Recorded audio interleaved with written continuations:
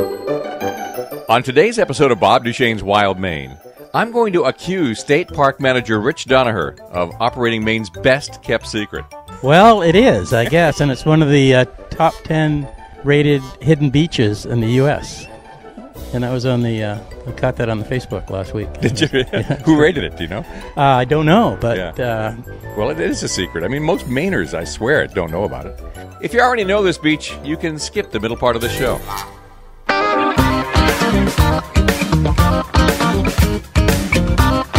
Good morning, I'm Bob Duchesne. This is Bob Duchesne's Wild Maine, and we'll get a private tour of that secret state park in a little while. But first, we're going to see if we can't put a little more wild into the American Folk Festival, which is coming up next weekend. Some people can walk there from home. Most people drive in and scramble for a place to park, but you can also get there by bike and by boat. We'll tell you how in a moment. Today's show is brought to you by Hammond Lumber, Dice Arts, EBS, and Supercuts at Bangor Brewer and Old Town. Ever since the Folk Festival came to Bangor, you've had the option of biking to the waterfront. And somebody will watch over your bike for the whole time you're there, and they'll do it for free. This year, they've moved the bike tent over near the railroad stage, meaning this year you can pedal in, get off the bike, and you're right there at the biggest stage and right next to the beer tent. Can life get any better? Steve Ropiak is the bike tent chair, so welcome to the program, Steve. Thank you. The basics of the bike tent. Now, we've had this bike tent since the very first festival. A lot of people know about it, but not everybody knows how to use it properly. So, how do you use the bike tent? Well, it's a very simple concept. We like to keep things simple. When the cyclists arrive, we check their bike in, we have them sign their log, and we give them a receipt for their bicycle. While they're enjoying the festival, we keep their bike in a secure location. And when it's time for them to leave, they present their half of the ticket. With their assistance, we match the ticket with the bicycle and send them on their way. And is there any cost? It is free to all of the festival attendees. Excellent. Now, what if you want to store stuff? You bring stuff on your bike and you can't really carry it around with you. Can you store it with the bike, or is that a problem? Uh, no problem at all. We have uh, not a large number, but a fair number of cyclists. We have backpacks or tag-alongs for kids, strollers. We've taken in uh, skateboards and other various wheeled vehicles, and all are kept in the same safe location with the bicycles. What is the location? Because you moved it this year. People are going to be a little confused if they're looking in the old place. New this year is we will on the, be on the corner of Railroad and Main Streets. So, for the first time in quite a while, you're actually going to be in front of one of the performances, and volunteers who are staffing the tent actually get to have some fun. Exactly. We have kind of been hung out in the in the left wing for a number of years, and finally they have brought us to the forefront of the festival. We'll be in a highly visible location, and hopefully that will prompt people who hadn't considered it before to ride their bicycle to the festival. Well, that's just it. Uh, if anyone who's driving a car in is going to have to park somewhere distant, either take a bus over or or walk down some distance carrying their stuff. If you go in by bike, you actually get out of the bike tent right in front of the railroad stage. You arrive and you're there. Exactly, and that's one of the advantages of bike cycling is the fact that you're parking it right at the festival itself. There's no long walk or bus ride to get to the height of the activity. There must be some strategy for doing this right because a lot of people want to bring in folding chairs, picnic baskets, whatever. Hard to carry stuff on a bike. How do people do it from your observations? Well, you you learn to minimize. I've been cycling to cycle commuting to work for a number of years, and I found that you know you really have to plan ahead. Like for myself, I will plan a car day where I will stock up sufficient clothing to get me through the week or any other vital necessities I might need for the course of my work week, so that I'm free to cycle on the off days. Okay. What about people who want to stay right till the last performance is done? Uh, is there somebody staffing the tent until after the performances? We stay until the last bicycle is gone. That's kind of risky, isn't it, for that last volunteer? Um, actually, no. I've I've manned that shift myself for the last couple of years, and What about city streets at night, though? Aren't some cyclists a little bit worried about biking all over downtown and nighttime traffic? well, actually, the tra- there's much less traffic at night in Bang in the Bangor Greater Bangor area than there's during the day. So, in terms of you know congestion and traffic, it really is kind of the optimal time to ride, provided you have sufficient lighting on your bike. Mm-hmm. People do this for a number of different reasons, and some some people just come a very short distance. They may just come from home if they live in Bangor. Some will park in the outskirts of town to get good parking, and then bike in and out uh, so they can arrive at the right place with minimal stuff. How many different strategies do you think you see in the course of a day? I think the majority of our riders come within the greater area. Most of them come like eight, ten miles or less. Although we do have some people that will park their cars, say up at the steam plant at UMaine or out at the Walmart and Brewer, and then bike down the last three or four miles. You know, it just depends on your personal preference, and you have to adapt to your own personal situation. And for a lot of years, and I don't know if you still do this, but you actually keep track of who came the farthest. Uh, is that still something that you keep track of? Uh, we had for a number of years, but it was sort of information that was underutilized and not really uh, taken advantage of. So we stopped collecting those statistics a few years ago. Although last year we had a couple who had biked down from from Calais to the festival. Uh, so the bike tent is once again the railroad stage. It's free. Uh, when, when's the staffing start? About An hour ahead, two hours ahead of the festival? Somebody's usually on site from 10:30 in the morning, and we stay until the last bicycle is picked up, typically after midnight on Friday and Saturday. That's Steve Ropiak, who chairs the bike tent at the American Folk Festival. You ride in, they watch your stuff. It's a free service run entirely by volunteers, and it just might be the most convenient way to attend the festival. But you might get an argument from those who go to the festival by boat. You can motor in, you can paddle in. Bangor has a harbor master, and he's my next guest. This is Bob Duchesne's Wild Maine on Sports Radio 929 The Ticket. This is Bob Duchesne's Wild Maine on Sports Radio 929 The Ticket. The American Folk Festival is on the Bangor waterfront next weekend. While the destination is amazing, getting there can be part of the fun. Most folks park and walk or park and then hop on a courtesy bus. Some folks come in by water. Jerry Ledwith is the Bangor Harbor Master, and if anyone knows how it's done, he's the one. So let's put the question to him. Jerry, welcome to Bob Duchesne's Wild Maine. Uh, can you boat to the folk festival? Yes, you can. Okay. Yes. How does that Yep. work? Uh, well, uh, people come from all over eastern Maine, eastern central Maine. Uh, they'll come in from as far away as Rockland going south and uh, probably uh, Blue Hill and uh, even further east to Jonesport coming in this way. Mhm.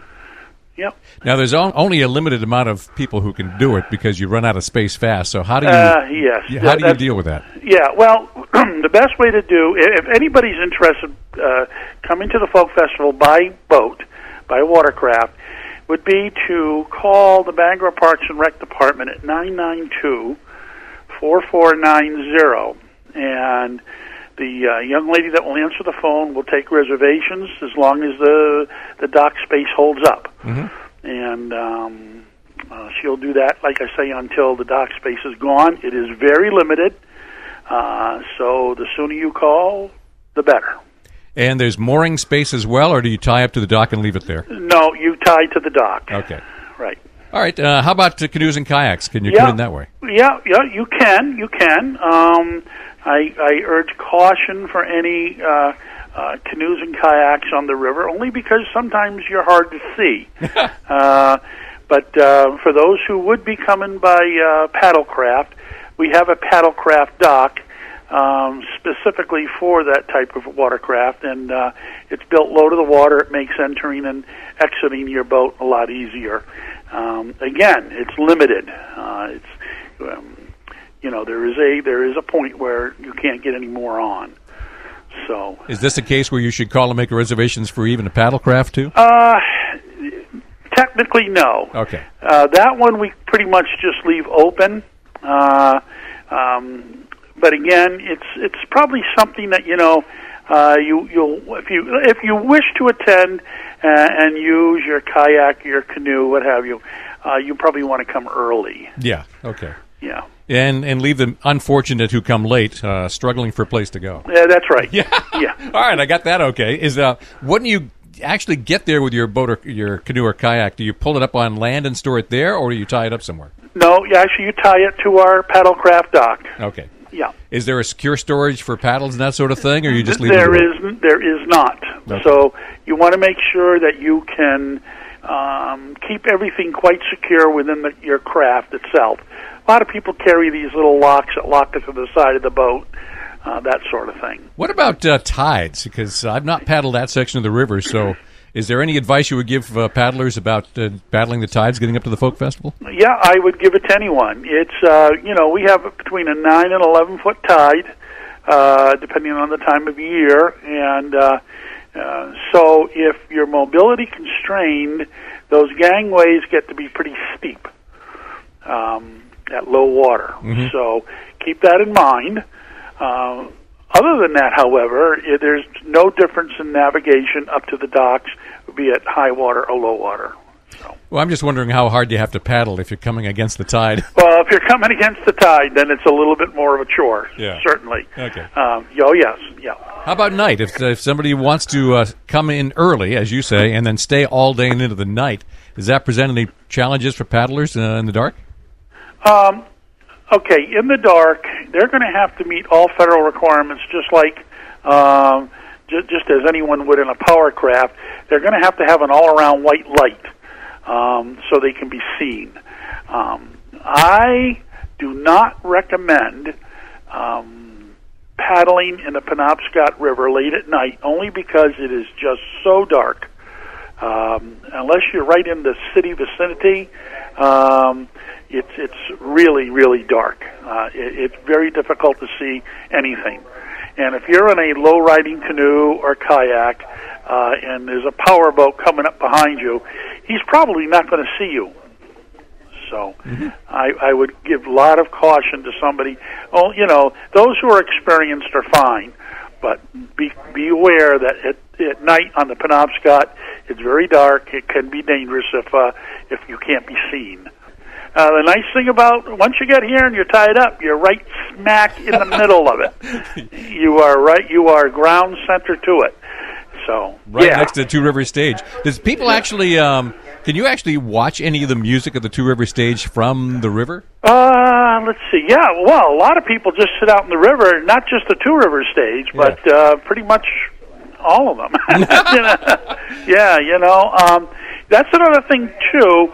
I mean, a lot of people just come up for a couple hours, sit in the river, and listen to a little music, and then go on their way. So, you know, um, keeping that in mind. you Yeah, know, if the weather's good, that could be a fun way to do it. that's right. That's right. And that's another thing too. Uh, keep one eye on the weather and one eye on the schedule of events. The weather can change very quickly, and uh, if you're in a small open boat, well, you know. Yeah. So, yeah. So, you know. On the other hand, it wouldn't be Bob Duchesne's Wild Maine unless something lent a little wildness to it. My thanks to Jerry Ledwith, the Bangor Harbor Master, for clearing all this up. On the way next, it's a state park. It's been named one of the most secluded beaches in America. What is it? The park director takes us on a tour in just a moment. This is Sports Radio 929, The Ticket. This is Bob Duchesne's Wild Maine. Saturday mornings at 9, Sunday mornings at 8 on Sports Radio 929 The Ticket. This portion of today's show takes place in a state park. At the top of the show, I asked you if you might know which one I'm talking about, since it has sometimes been listed as one of the top 10 most secluded beaches in America. I'll give you a hint. It's on the ocean, though it also has a freshwater pond for warmer family swimming. The saltwater beach is so completely shielded from the road by an immense row of beach roses that you can't see the beach, even though you're just 30 yards from it. Oh, one more hint it's down east. Can you name this park?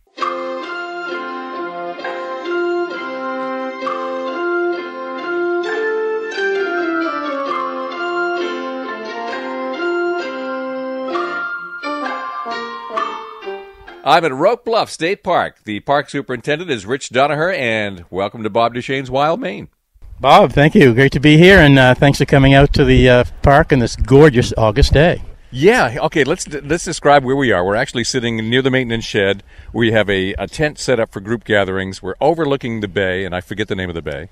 I don't, I'm not sure- it has a uh, uh, technical name to it. You know, everything back here does, and Yeah. over there does, but this is this is basically part of the uh, open ocean right here. Mhm. And uh, So we're looking down the beach. It's a beautiful day in August, and yet there's almost nobody on the beach, and that's typical. well, it is for this time of day. Yeah. You know, we've got a lot of families and a lot of vacationers in the area, and they'll kind of show up at 11 o'clock or noon, and by uh, by the middle of the afternoon, I expect that we'll have a pretty good crowd out here. Well, Roque Bluff State Park is this Maine's best kept secret. Well, it is, I guess, and it's one of the uh, top ten rated hidden beaches in the U.S. And that was on the uh, I caught that on the Facebook last week. Did you? Yeah, Who rated it? Do you know? Uh, I don't know, but uh, Well, it is a secret. I mean, most Mainers, I swear it, don't know about it. well, the, the interesting thing is we have this int- this whole row of um, the wild rose bushes. Yeah. So you really can't see the beach um, as you drive along the road, and uh, that kind of keeps it hidden from from view too. So, are there bluffs? Well, I look around. I say, I, I wouldn't say bluffs, but how, so how did it get its name? that's a million dollar question, and you know I've been looking for the person that named it Roque Bluff since I've been here, and I've been here for eight years. But really, the bluffs would be down would be further down the road here. Down and to Shoppee only- Point, or yes, Mhm. down this uh, Shoppee Point Road, and the only way to see them is by boat. Oh, so someone who would be sailing up here would have named it after what they could see from the ocean, probably. Probably. Yeah, okay. Well, what the, what's the Roque part? Do you know? That would, were, of course, we're a spin-off from Jonesboro. Yeah. This was Jonesboro back in the day, Mhm. and uh, um, you know, Ted likes Ted, uh, my ranger here, likes to think that the pirates come in here, and that's that's where the rope came from. Is that that can't That, be it? no, that's not it. But that's his that's his version, and you know, if I'm going to tell stories, that, May as well make it a good might as well story, Make it a good one, yeah. I, I was originally thinking maybe it's French for rock, but that's not quite the right pr- spelling. No, There's or- Roquefort cheese, so maybe it's named after somebody. I, did, I never did come up with the right answer for what Roque is. No, it's a, it's kind of a mystery, you know, between the Roque and the Bluffs, and Mm-hmm. where are the Bluffs, and uh, it's uh, it's an interesting name to be sure. What is the actual history of Roque Bluff State Park? Well, the uh, the state started to put together a few uh, parcels of land with the idea of making up a park here, and that s- took place in the uh, mid '60s, around Mhm. 65, 66, 67 in that area, and then uh, right around uh, '70s, early '70s is when it. Uh, gradually became the park and a lot of these parks started off you know kind of low profile Mm-hmm. and then uh, as the years went by, we sort of put them together so they'd be more functional, and uh, you know, with parking and toilet facilities, and uh, made sure the a- access was for the public was safe and uh, Mhm. adequate, things Yeah. like that. hmm Of all the state parks along the Maine coast, I can't think of any park that has both beach and trail system. Anywhere from Kittery on up In freshwater pond. in Freshwater Pond. yeah, yeah. yeah, it's pretty unique. Yeah, I mean, is that why this park ended up here because of those unique features, or Well, I think so. Um, um, you know, this this piece of real estate right here is is worth quite a bit, and then of course on the other side of our hiking trails. That has a big chunk of ocean frontage as well. Mhm. So when you add it all up, you've got you've got quite a bit of um, real estate with um, water access to it. I probably come to Roque Bluff State Park six to eight times this summer, Uh huh. uh, either leading birding groups or by myself.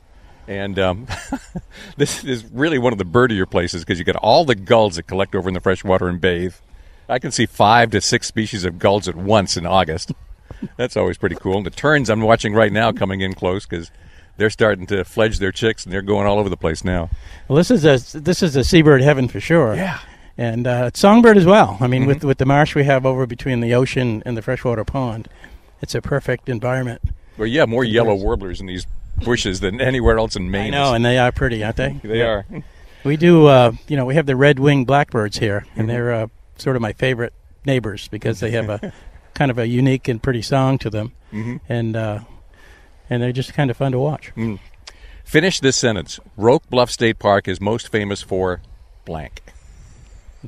I think it's the the atmosphere that you get when you drive through town and come by the chapel, and make the make the right hand turn and come down over the hill, Mhm. and then you look out and you can see the ocean, you can see the pond, you can see the rose bushes, and it just has a very relaxing feel to it.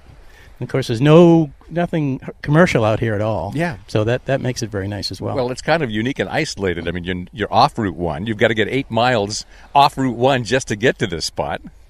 Uh, so it is secluded. The beach is secluded because you can't even see the road because of the rose bushes. All you got is ocean in front of you. It's a pretty unique spot. Yeah, it's just beautiful here. Um, and uh, one of the draws for the young families and the young children is they can swim in the freshwater pond because it gets nice and warm. Is it clean enough? Because the birds go over there and bathe. There's It- beavers in there. You know, you know, there's a lot of things going on in that pond, but it's never been an issue as far as any health concerns Is that right? Okay. customers. Yeah. Well, because on the ocean side, the water temperature is a little bit cooler than liquid nitrogen.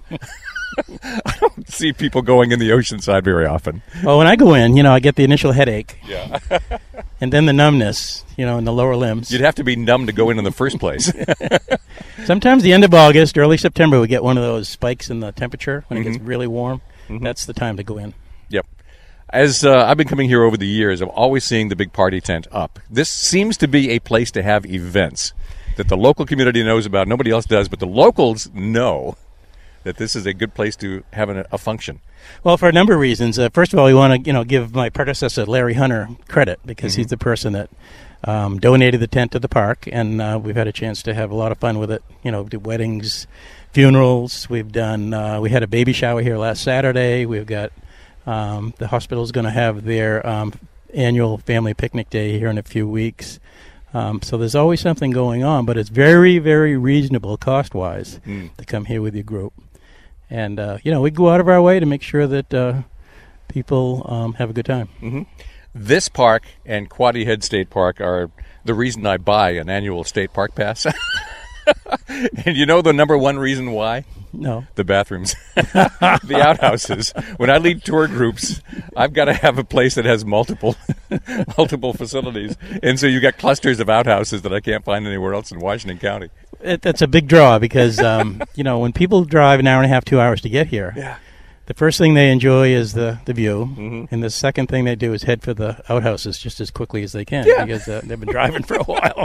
exactly. If I pick somebody up at Ellsworth or a group uh, at Schoodic Point, for instance, and we come up here, they've got to hold it till we get to Roque Bluff State Right. Park, because um, from Ellsworth to at least Lubec, I can think of only four locations that are two holers. There's the Irving and Machias. Mm-hmm. There's here, there's Quoddy Head State Park, and there's the Campobello Visitor Center. Other than that, if I stop anywhere else, it's a long line, and we're going to lose 45 minutes.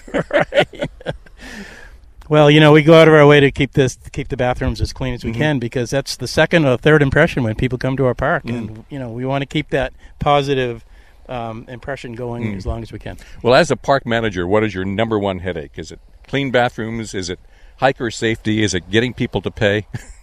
Well, here it's uh, you know this is the fourth park that I've worked at in my career, Is that right? Yeah. and uh, each park has its own set of problems that come with it. This one probably has the least of any. You know, vandalism hardly exists at all here. There's virtually um, nothing to vandalize. That's true. um, what are you going to do? Tip over a picnic table? That's about it. Um, we, uh, you know, dogs are the number one problem in Maine state parks. Loose dogs, dogs on the beach, uh, things like that. So we, you know, we have to keep an eye on that. And again, that's really not a problem here. Um, it's uh, probably on the stressometer. This is probably probably the least stressful place I've ever worked. Yeah, I would think so. 'cause it's, it's a beautiful spot. Not a whole lot of infrastructure. Not a whole lot of usage. So, No, no, all those things are nice. and is it true you're only the second manager this park has ever had? That's right. Thirty-eight years. Yep. Yep. Yep. 38 years, and you've been doing it for eight. So your predecessor, Larry Hunter, did it for 30 years. Thirty years, yeah, and he uh, he's a character. He's his spirit is everywhere around this park, and I feel it every day when I'm here. Is there anybody in this neck of the woods that isn't a character? Oh, that's so true, Bob. I mean, we did, and I think that's what makes this area what it is, is because of the characters. Mhm. You know, I grew up in Greenville, and I worked. I started my career at Lily Bay State Park up on Moosehead, and uh, Greenville's a place of characters as well. Yes, well, should we hop on uh, the buggy and go take a look around? the Sure, Okay. check it out. Okay, this will take us a minute to get up to the beginning of the park tour, so this is a good time to let the sponsors have their say. I'll meet you up at the Ranger Cabin in a couple of minutes. I'm with Rich Donaher, manager of Roque Bluff State Park, which sometimes get credited with having one of the most secluded beaches in North America. And it's far enough off the beaten track that most Mainers don't know about it. This is Bob Duchesne's Wild Maine on Sports Radio 92.9 The Ticket.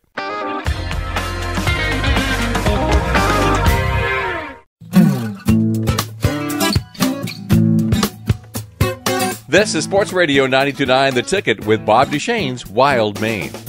We're taking a quick tour of Roque Bluff State Park. This is the Ranger cabin. This is the Ranger Cabin. I have to go say hi to my dog. Oh, yeah, yeah, yeah. So, Rich Donaher is the park manager, and we've just pulled into the driveway of what Rich calls the Ranger Cabin. It's actually a house, a nice one, with a view to die for. And better yet, there's a dog in the yard. Riley, I brought you a new friend. Hello.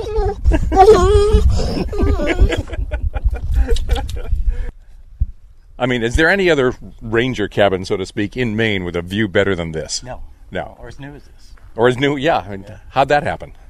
Well, this was, uh, uh, I think I told you before, Larry Hunter lived in a trailer down there by the maintenance garage. And uh, I think when the toilet fell through the floor, that was that was the uh, the breaking point. It was time to do something. And uh, he actually stayed in another cottage up the road here for a year or two. And uh, the powers that be put this plan together and they, uh, they built this house back When- in 1999, 2000.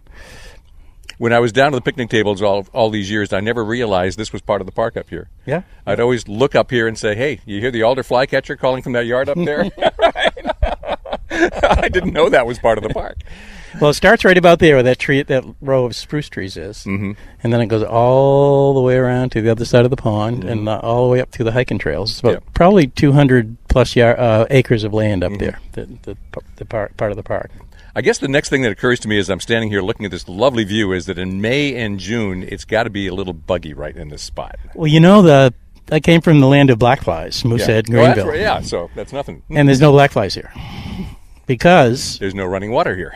There's uh, there's no woods. I mean, Yeah. this is just open here. Uh, we get the mosquitoes. We'll start um, around dusk and dark, just through that period as you go through the spring and early summer, and as you go through July now into August, you'll see that the mosquitoes will, will gain in intensity um, through the month, and they get they get pretty pretty rugged.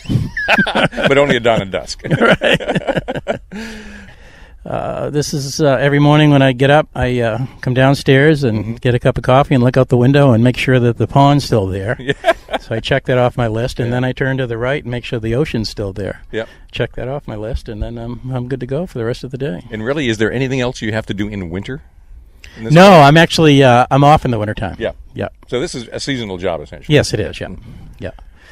And uh, that I've spent all the winters that I've been here, right here in uh, the house in the park, and uh, January, February gets it gets pretty quiet, and you get and you get used to that. And then then the spring breaks and people start to show up. It's kind of like, well, well, what do they want? All you people go away and stop bothering me. and then you gradually, you know, you you get used to the uh, the s- the spring, the summer, the season, and now, you know, like Yeah. yesterday, we had just a record crowd here. It was just amazing. I could stand here and tell you for 20 minutes how powerful the winter storms are, but until you were standing here or in the house for a nor'easter and taking those 60 mile an hour winds direct hit into the front of this building, um, you'd realize how intense they are. It's and I gauge the storms here by how many shingles fly off the roofs. Was there a time this winter where you simply couldn't leave the house because there was so much snow? yeah, so we get stranded in here for four days. Yeah. yeah. Two plow guys tried to break through and they couldn't do it, so Yeah. we had to get a front end loader to actually uh, open the road up. Is there anything in particular that you lost that you regret? Well, I've, I had a grill, Uh-huh. big Weber grill like that, Yeah. um, that I had for 15 years, and I had it out here in the front lawn, and we had it. This is a fall storm, Mm-hmm. and it blew that grill, and that's a big rugged grill. Blew it right over on its side and broke it into about three pieces. Jeez. And uh, they said, "That's it. You know, Mm-hmm. I'm going to tie everything down." So, you know, you learn. You learn how to what to take care of. Yeah. All right, let's go examine more of the park. Okay. Yeah. Back on the golf cart and down through the park. The pond side is mostly picnic area. There's a place to swim in the freshwater pond. There's a volleyball court. There are kayaks for public use. We're heading towards a strange granite sculpture near the entry of the park. Lehman, say hello to Bob Duchesne. This is Lehman Faulkingham Jr. How do you do? How you doing? Nice to meet you. Me too. Yeah. He's a native of Beals Island. Beals out. Great Watertown. Yeah, there's a lot of people with your name in the cemetery over there. I hope I won't be there for a while. it's like Norton, Jones, Yeah. Beals, Yeah. Alley, Yeah. Faulkingham. Yeah. I don't know how I got mixed in. Oh. All right, we're now at the north end, the north entrance, and there are two entrances to the beach area, two mm-hmm. parking lots, and two sets of facilities. And we're at the more popular end because people just hit the one they come to first. Yes, this is the first thing they see, and uh, it's just you know it's it's colorful, and it's uh, the kayaks are here, and uh, the sculptures here, and the big signs here. So this it looks like this is you know where the, all the action is. This is where they stop. the sculpture that's not been there a long time. No. What is it, and how did it get there? Well, as part of the uh, Schoodic uh, International um, Sculpture Symposium, Mm-hmm. um, and uh, we were approached uh, back, um, gosh, what year was it? 2010, by the folks that were putting together six sculptures for that particular um, two-year period. Out of um, Jesse Salisbury was the director of that. He lives in Steuben, and we were approached by one of his people about putting a sculpture in the park. But the uh, the attractive thing was is because we're a state facility that we had a ten thousand dollar um, grant to start the project. Mm. So we had to come up with another five t- we raised ourselves, which we did, and it was. Uh, you know, it's harder than you think, but it's also when it once it gets going, it, Yeah. it really kind of takes on a life of its own. And we had some donors, and it worked out pretty well. But the, the interesting thing is, you don't know what you're going to get. Well, when I look at it right now, it looks like an eel holding a bar of soap. and that's the beauty of this particular sculpture So- is it looks something different. Um, my uh, colleague uh, John Smith, who worked at the lighthouse for years, now he's working as a as a maintenance coordinator. He claims that that's a brook trout holding an Oreo cookie in his mouth. Is there any indication of what it is supposed to actually represent? no, and, and you know that's the thing about art, which I didn't know a lot of when I get into the sculpture business, Mhm. and uh, I've, I've been educated quite a bit, and. Uh, you know, it can be whatever you want it to be. And when the sun shines on it at different angles, it changes. When there's a little bit of snow on it, or it's a little bit of shower, so half of it is wet, half of it is dry. Um, and it's uh, it is pretty cool. I mean, there's some out there that are interesting looking sculptures, Yeah. and it's hard to you know get your. Well, does any other state park in the state have a sculpture? Oh yeah, Right. uh, Lamoine State Park. Has Do they? Oh, it's been years since I've been over to Lamoine. yep, yep. They have one. Another one of those best kept secrets, I think. Yes, it is, and that's you know that's pretty close to the Ellsworth Bar Harbor. Yeah. yeah. That's because everyone goes to Ellsworth and Bar Harbor. They don't go over to Lamoine. right, right. Yeah. Well, it's a difference down east. Nobody really takes that left-hand turn and heads down Route One. So Hmm. it's a great population neutralizer. It really is. I'm trying to think of the last hotel room that was ever constructed in Washington County, and it's probably been decades. Yeah, yeah, yeah. And that's another inter- interesting thing- thing about out here is the the development is just non-existent. Mm. You know, there's always a home or two being built that you really can't see on the ocean, but um, Well, that's why I come up to Washington County. Is I love it with because I don't have to share it with a lot of people. Let's step across the street, and uh, I want to talk a little bit about what we see offshore here at the north end of the park. yeah. And this is, you know, when the visitors first come for the first time and they want to look at the ocean, they park here in this little lot Mm-hmm. and gaze down at the beach. And I'm sure their first impression is, "Oh my God!" Well, the unique thing about this spot right here is the access to see the open ocean. Right. I mean, most of the places you see anywhere on the coast, especially down east, is you know you don't get to see this all the way to Nova Scotia. I guess would be the next. Not much here between between us and there. Of course, you're looking out at Roque Island out here. In, um, Yeah, I've been on that a number of times because Yeah. uh, Maine Audubon has done trips over to Roque Island in November several times to do all the seabirds coming in, Right. Yeah. and that's a lot of fun. yeah, that place is amazing. I Yeah. get to spend a day over there with my neighbors who worked there a couple years ago, Mm-hmm. and uh, you know it's hard to describe what it is over there. You Yeah. know, full working farm. with, with no fences, so the horses can roam it around at will. And so when I'm out there eating my lunch, a horse will come over and grab my sandwich. Yes. Yes. the little bugger.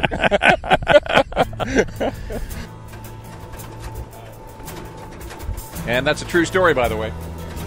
On an island, there's no big need to fence in the livestock. They're not going anywhere. The last time I was on Roque Island, one of the horses just walked up, reached over my shoulder, and grabbed my lunch. I'm with Rich Donaher, manager of Roque Bluff State Park, which has made several lists as one of the most secluded beaches in America. I just did a quick Google search just now, and it comes up number three out of seven most secluded beaches on U.S. News and World Report. It's number nine on ShermanTravel.com, an expert travel blog, and it does get quoted that way on Facebook. We're back on the golf cart and headed up to the trails. Now I'll meet you at the trailhead in a couple of minutes. Bob Duchesne's Wild Maine is on Sports Radio 929, The Ticket. Welcome back to Bob Duchesne's Wild Maine. We're at Roque Bluff State Park. Park manager Rich Donaher has been driving me around in this golf cart, taking a close look at everything. Now remember, this is an ocean beach that is so secluded, it makes top 10 lists of the most secluded beaches in America. In Maine, it's the only coastal state park that has ocean swimming and freshwater swimming in the 60 acre pond behind the beach, and a hiking trail system. So we're in the trailhead parking lot. I, as I say, I've, I've walked some of these trails. Um, I have not done them all. How many miles of trail is there? You could probably, um, if you did all the trails and all the little um, um, little spur trails that are off them, and you kind of married them all together, you could probably get about two and a half miles of hiking without really retracing your steps. Were the trails there before the park was, or were the trails put in specifically for the park? Larry Hunter Did he? did these trails. Yeah, Did he have a rhyme or reason for how he laid them out? Do you know? I we, we never talked about that. Yeah. Um, but it was uh, th- he did a beautiful job, Mm-hmm. and the people really enjoy them. I enjoy them. Folks come out here and get a chance to walk their dogs, and uh, it's a nice leg stretcher and a lot of different, um, you know, a lot of different views. Um, the highest point of the trails is about 500 feet above sea level, and that's up on My Hill Trail. Um, we've got the Pond Cove Trail, which runs right along the backside of um, Simps- Simpson Pond here. And, you know, it's uh, a good chance to see wildlife, um, Yeah, like what? deer, Deer. yeah, deer, rabbits. Mm-hmm. Um, we've run into a few porcupines with my dog on occasion, and that's not been a good day. About moose? no moose. The moose kind of, uh, you know, I come from moose country. Yeah, you yeah. know, where I grew up in Greenville, and uh, occasionally a moose kind of rambles through the neighborhood and generally visits about everybody living on the ocean Mm-hmm. side here. And um, but that's every couple of years, couple three years. They're not they're not around much. In June, I had a very funny experience. We were leading a, a birding trip down this way, and uh, with a gr- bunch of people who really wanted to see moose. But I said, no, we never see them at the coast. We get past the park. We're halfway to Shoppee Point. There are two moose standing in the road. this was this year in June. I said, my God, I've never seen moose down here. It's rare. Yeah. it's rare, and and you're lucky to be able to, to see one. Yeah. Um, my recollection is these trails are actually pretty easy. There's not a lot of big roots and rocks and stuff in the way. no, no, they are pretty easy. Yeah, it's a nice moderate hike for most folks. So I would think you don't have that many people hurting themselves in here.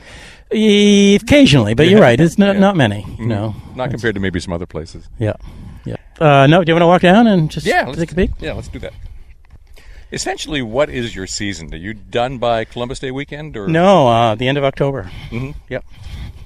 And then the park is officially closed, but obviously people can still use the trails. They do, and you know, I keep the uh, you know I keep to- uh, toilet paper in the bathrooms, and I make sure that the uh, the access is um, safe and unimpeded, and Yeah. whatever you know, if a tree goes down, we'll take care of it, and um, do kind of some volunteer stuff, just because there's people here all the time. Yeah. And then we let folks uh, take the dogs out on the beach, you know, after November through the winter. Mm-hmm. And that's a pretty popular thing to do. No matter how much snow you've got when the tide's out, you know, you get some good walking access there. Well, here's a question for you on wildlife. Yeah. The you go to the other side of the road, the um, Uh, Gray Cove? yeah, Gray Cove. Yep. You go down that way and become spruce grouse habitat. Yes, yeah. Which is always interesting for people from away because that's a bird you can't get south of Bangor. Right. Do you get them over here in the park at all? No. I Um, it's another thing about up in the Moosehead area was, you know, we used to do uh, hunting rough, ruffed grouse all the time. Oh, but sure. Spruce grouse are very few and far between. Yeah. Not quite the habitat. Yeah, there's a lot of ruffed grouse out here, partridge, I guess you call Exactly, it. yeah. And uh, if you're out here hiking, you flush them all the time. Yeah. So this is part of the old farm, Mhm. and uh, this is an apple orchard out here. Of course, in the spring when the blossoms are out, this is pretty spectacular. Oh, I can imagine. And the bees come over from the blueberry fields next door. They're on holiday. right.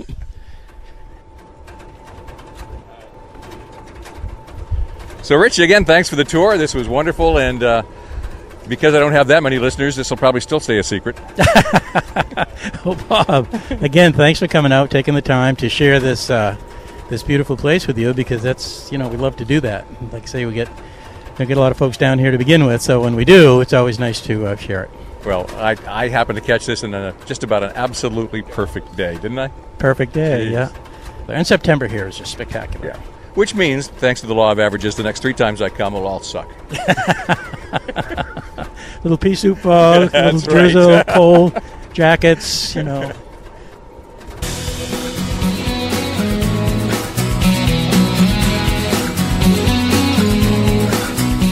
Rich Donaher is the manager at Roque Bluff State Park, and I certainly appreciate the tour. We've only got about five minutes left of today's show, and we will spend it on a puffin watch. Over the last couple of years, the Isle au Haut Ferry has been making once a week trips out to Seal Island, which is about 16 miles out to sea from Stonington. There's a big seabird colony out there where puffins are the main attraction. Puffins are wicked cute, and lots of people want to see them. For a month, I've been going along as their expert spotter because there are lots of other cool birds out there too, and not everybody knows what they are. Now, I've done shows from the Isle au Haut Ferry before, and I'll be doing it again in the future. So I'm just going to squeeze a four and a half hour puffin boat trip into five minutes.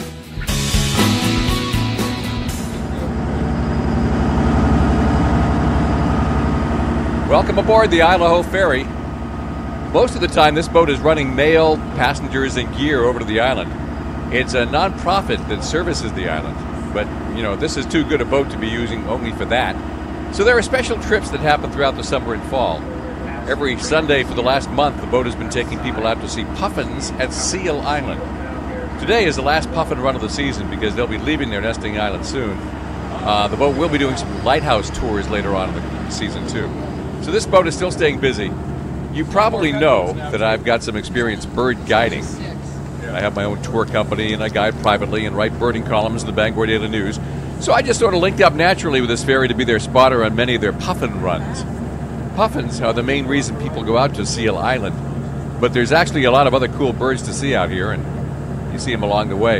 In fact, uh, the puffins are so easy you really don't need a spotter. There are hundreds of them waiting for us out there at the island today, so I, I spot the other stuff. It's 16 miles from Stonington to the island. It takes us almost two hours to get there, depending on how the seas are running. But it's a very scenic ride. We go by a bunch of islands, some of which are rocks with scores of seals hauled out on them sunning. We go by Isle au Haut. We go by a famous lighthouse called Saddleback Ledge, which I can now see in the distance. Uh, Seal Island belongs to the federal government as part of the Maine Coastal Island National Wildlife Refuge. And that's good because nobody else would want it anyway.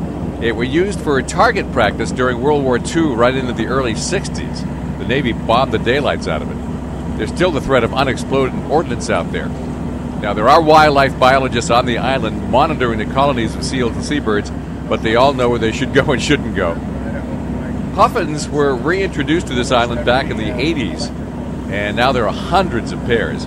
This island is also the second largest pupping colony for gray seals in the eastern United States. Besides puffins, there are nesting razorbills and black guillemots, which are close cousins of the puffin, and a big colony of common and Arctic terns. Seal Island is also the southernmost nesting uh, site for great cormorants, uh, so it's a pretty cool island that we're heading for. We're about halfway to the island. Wilson storm petrels are all around us. This is a small black bird that actually nests on islands off the southern tip of Argentina. Now, you know our birds go south for the winter. Did you ever wonder if southern birds go north for the winter? Well, the answer is yeah, some of them do. These tiny birds flood the ocean after nesting, and some people think it may be the most abundant bird in the world. A moment ago, we had a great shearwater cross the bow. Um, that's a bird that nests on four remote islands in the remotest section of the South Atlantic. They also come up here during their, their winter. Well, this is cool. I have uh, I've never seen a whale on this passage, but I just had my first one last week, a rather large minke whale. It's still here, and it's got a friend. Two minke whales just surfaced right behind the boat. The swells are, uh, are a little big today.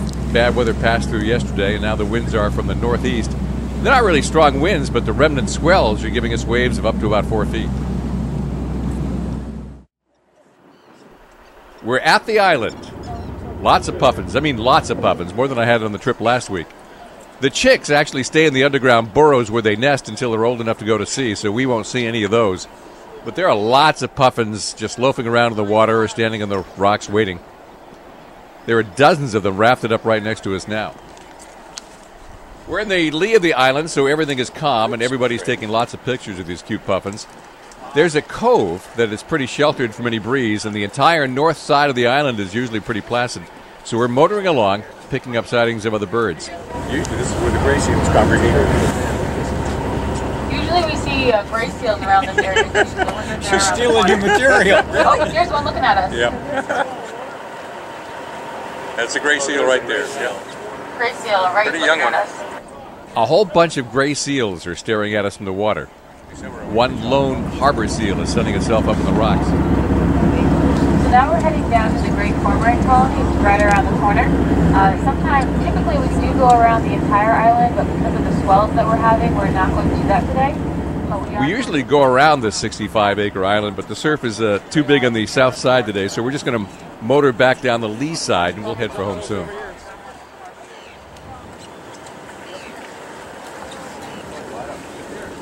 We're about a third of the way back. Three parasitic Jaegers just flashed by the boat chasing a tern. Jaeger is the German word for hunter. These guys often feed themselves by stealing food from other birds. They're marauders, and that's what they're doing to that poor tern right now, chasing his tail all over the ocean until he drops his fish. Jaegers are unusual. They nest up in the subarctic. But later in summer, a few of them come down here to hassle the other birds, and we just got to watch that. Well, that's about all the time we've got.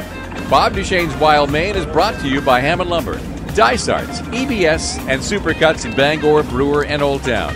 Join me again every Saturday at 9, Sunday at 8, and online afterwards at 929theticket.com. From 16 miles out to sea, this is Sports Radio 929 The Ticket.